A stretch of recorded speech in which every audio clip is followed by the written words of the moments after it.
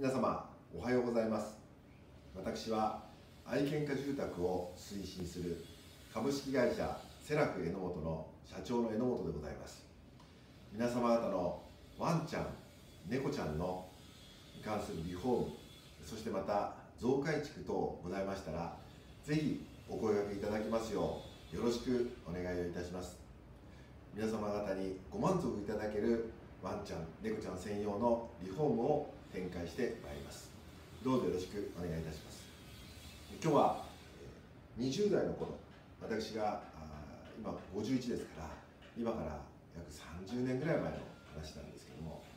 えー、お世話になったお客様ということをお話をさせていただきます、まあ、あの当時榎本塗装だったんですけども榎本塗装はですね、まあ、あのゼネコンさんだとか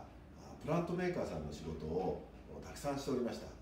ゼネコンさんはですね代表されるのは例えば大日本土木さんとかあと大成建設さんとかですね。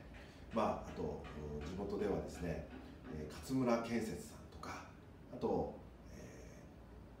ー、その他東急建設さんとかですね。さまざ、まなゼネコンさんがたくさんおりました、まあ、あのゼネコンさんの下で何をしてるかと言いますと、えー、ゼネコンさんが建てるビルのですね塗装工事を請け負っておりました。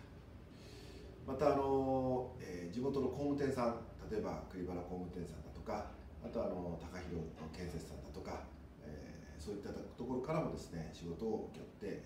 おりました。それとプラントメーカーに関しましては、えー、三木工業さんとか江原製作所さんとかあと久保田さんとか、えー、あと NKK さんとかですね。まあこういったプラントメーカーさんからの仕事もさせていただいておりました、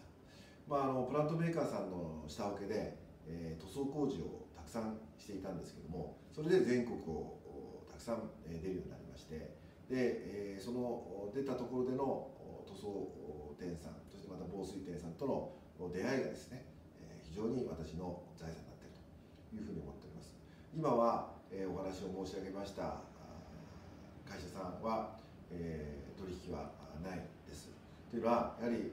分譲マンションの大規模修繕の元請け工事そしてまた愛犬家住宅で、元請け工事ということでございます。しかしながら20代にですねそういった方々にお世話になったということは感謝の念に耐えません。ありがとうございました、えー、皆様方のワンちゃん猫ちゃんのリフォームに関しましてはぜひセラフへのもとをよろしくお願いいたします。ありがとうございます。